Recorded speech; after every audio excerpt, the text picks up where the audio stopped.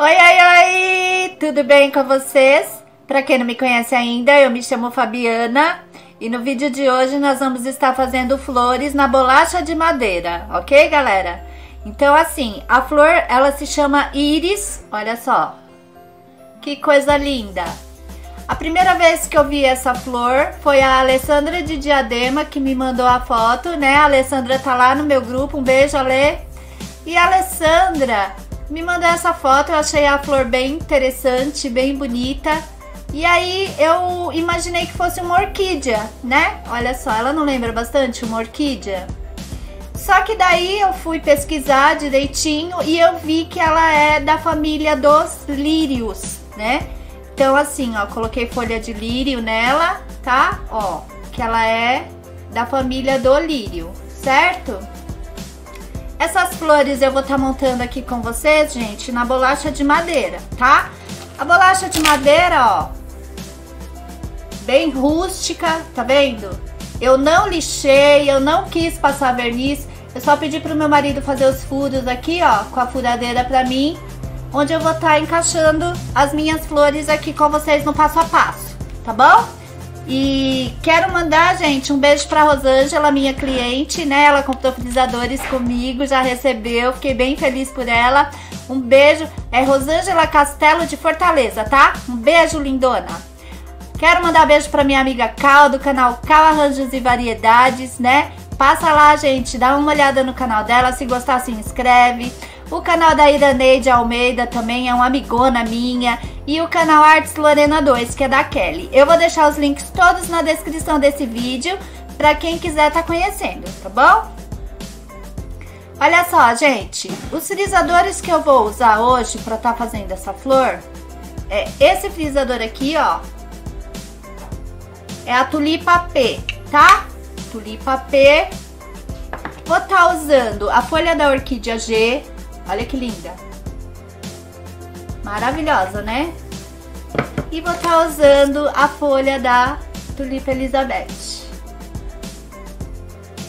Linda, né? A folha da Tulipa Elizabeth, ela parece bastante com a folha do lírio, né? Por isso que eu vou estar tá usando ela, ok? Lembrando que os frisadores que eu utilizo aqui no canal são os frisadores do Marcelo Fontainha de Melo, né? Frisadores em resina, com ótimo acabamento. Gente, são maravilhosos, olha. Tá dando pra vocês verem esses detalhes? Ó. É esse movimento aqui que faz ficar bonita assim a pétala da flor, olha. Tá dando pra vocês verem direitinho, tá? Olha que lindo. Tá vendo? Quem quiser estar tá adquirindo o catálogo, chama a gente no WhatsApp. Eu deixo o banner aqui em cima com o telefone das representantes e eu deixo na descrição do vídeo também, tá bom? Entre em contato com a gente, pede o seu catálogo, faz o seu orçamento, tá, gente? O preço tá baratinho demais, vocês vão gostar do preço, tá? Então vamos lá para o nosso passo a passo? Eu espero que vocês gostem. Já volto. Bom, gente, eu comecei o passo a passo pegando o frisador da Tulipa Elizabeth e risquei no EVA verde claro. Risquei também com o frisador da Orquídea G e vou estar tá recortando. Nessa hora não precisa muito cuidado, né, para estar tá recortando, porque depois eu vou tirar as sobras de EVA, né, depois que eu frisar. Aí recortei a folha da orquídea, recortei a folha da tulipa Elizabeth, que vai ser a folha do lírio, né? E peguei o frisador da tulipa P e risquei duas pétalas. Aí vou recortar bem direitinho, né? Eu já deixei o meu ferro esquentando Lembrem-se sempre, gente, de deixar o EVA amolecer, né? Tem que esquentar direitinho no ferro para ficar molinho, ok? Para o seu frisado ficar maravilhoso, né? Olha só, coloquei já uma pétala da flor no ferro para esquentar. Deixei amolecer bem e comecei a frisar. O frisado fica maravilhoso, olha só. Eu tô usando esse frisador da Tulipa, né, para fazer essa flor. E logo mais eu estarei fazendo também a tulipa P com ele, né? Que vai ficar uma tulipa baby super linda. Tô frisando a segunda pétala. Olha que lindo que fica esse movimento, gente. Fica maravilhoso, né? Aí coloquei já para frisar a folha da tulipa Elizabeth. Coloquei no frisador, olha só. É só você encaixar a tampa direitinho e colocar o peso do seu corpo. Olha, que lindo. Fica muito fofa essa folhinha, linda mesmo, vocês vão amar, viu? Aí peguei a folha da orquídea G. Ela, eu quis colocar essa folha porque ela é mais larga do que a da tulipa, né? E eu queria dois tamanhos de folha nesse meu arranjo, ok? Olha só, frisei. Olha que lindo que fica, gente, esse frisado. Maravilhoso, né? Aí eu vou estar tá recortando bem direitinho, né? As folhas e as pétalas. Nessa hora você mantém a mão firme, né? Como eu sempre digo, para o seu corte sair bem limpo, não ficar picotado, né? Em volta das folhas e nem das pétalas.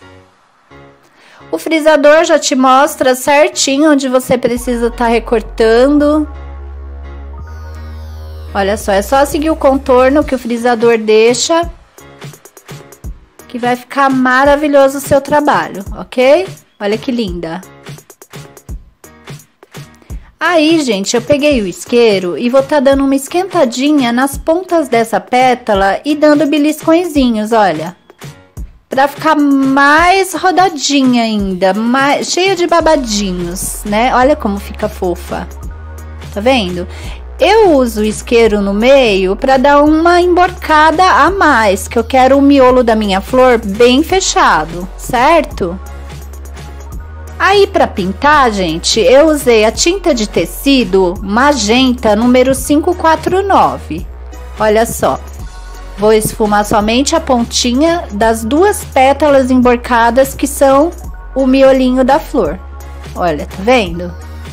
Aí vou pegar a tinta PVA violeta número 516, vou estar tá molhando a esponjinha e vou estar tá passando somente em cima na bordinha, ok? Olha, na bordinha das duas pétalas que vão formar o miolinho da nossa flor. Aí, gente, essa, essa flor, ela vai usar, é, nós vamos usar 11 pétalas, tá?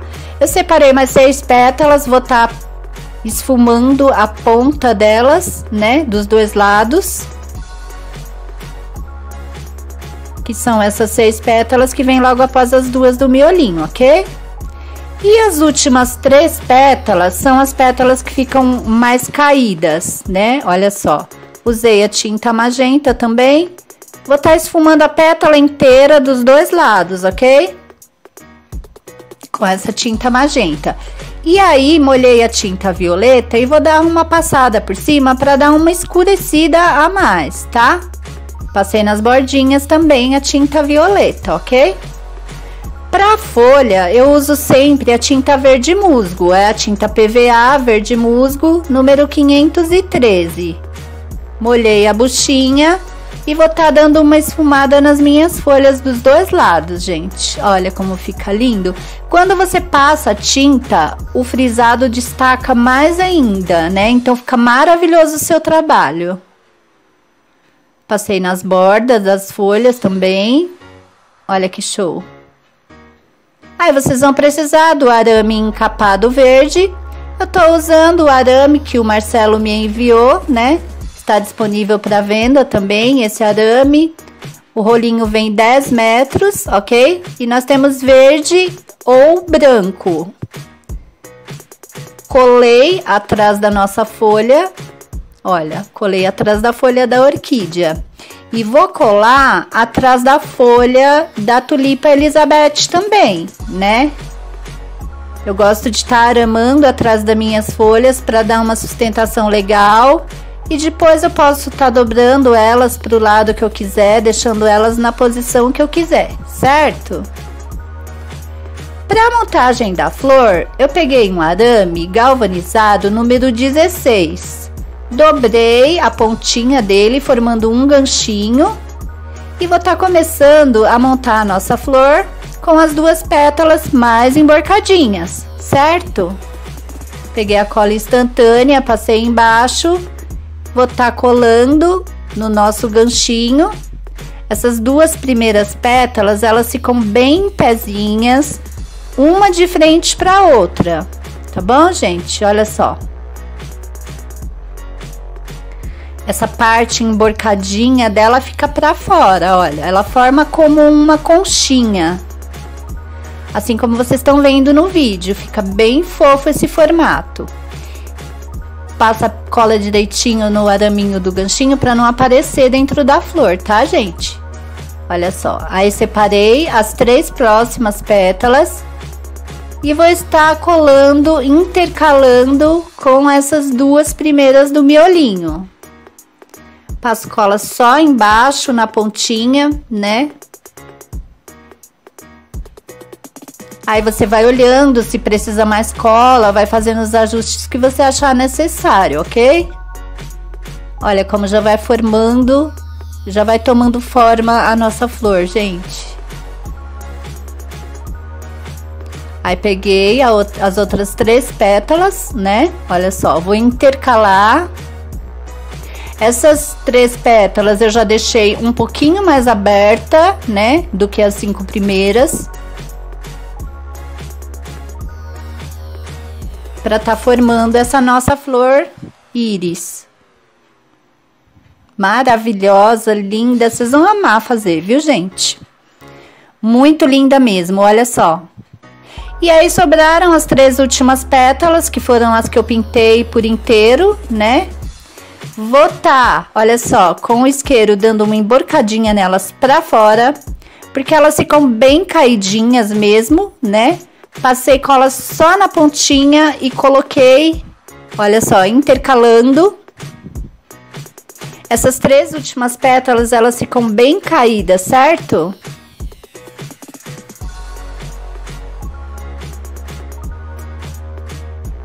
Olha só. Colei as três últimas pétalas. Olha como fica o formato, viu? Muito linda essa flor, né, gente? Espero que vocês gostem, eu amei. Peguei o espaguete, né, que é a mangueirinha de silicone, passei no arame do cabo da flor, dobrei o ganchinho, né, do arame para prender bem o espaguete embaixo. E aí vocês vão precisar da fita floral verde para estar tá encapando o cabo da nossa flor, né? Coloca a fita floral no pé, embaixo na flor em cima do EVA, tá? Pra ficar bonitinho o acabamento ali, né? Na junção das pétalas embaixo, olha. E aí é só você ir esticando a fita floral para liberar a cola e vai encapando o cabo da flor. Até a altura que você quiser colocar a sua primeira folha, certo? Eu coloquei as duas folhas da tulipa Elizabeth uma de frente para outra. E a folha da orquídea, que é mais larga, eu coloquei mais embaixo, que eu queria que eu queria que ela ficasse mais próxima da bolacha de madeira, ok? A quantidade de folhas também é você quem vai decidir, depende muito do tamanho da, da bolacha que você vai estar tá usando, né? Olha só, e aí é só encapar até embaixo Dobrei as folhas na posição que eu queria. E vou começar agora tá montando o nosso arranjo. Olha só, é só você encaixar o cabo da flor, certo? Nos seus buraquinhos, né? Que já foram feitos na bolacha. Eu não passei cola porque eu não vi necessidade, eles já entraram bem justos, né? Mas se você quiser, você dá uma gota de cola quente e aí você vai posicionar as suas flores da maneira que você preferir, né? Eu coloquei as minhas maiores atrás, as médias no meio e a pequena na frente, ok? Entortei o cabo delas. E para não ficar muito liso embaixo sem nada, gente, o meu marido fez uns furinhos menorzinhos, né? Para eu estar tá colocando umas, umas florzinhas para dar mais um charmezinho no nosso arranjo. Espero que vocês tenham gostado desse passo a passo, minhas amigas e meus amigos.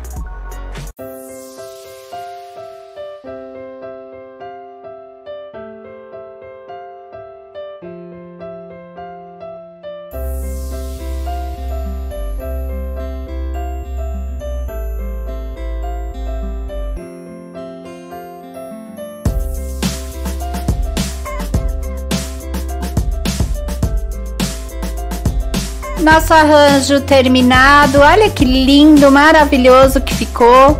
Aí você faça as suas flores na cor que você preferir. E quem gostou, por favor, curte, compartilha, me ajuda a divulgar mais esse trabalho, ok? A gente se encontra no próximo vídeo. Beijos!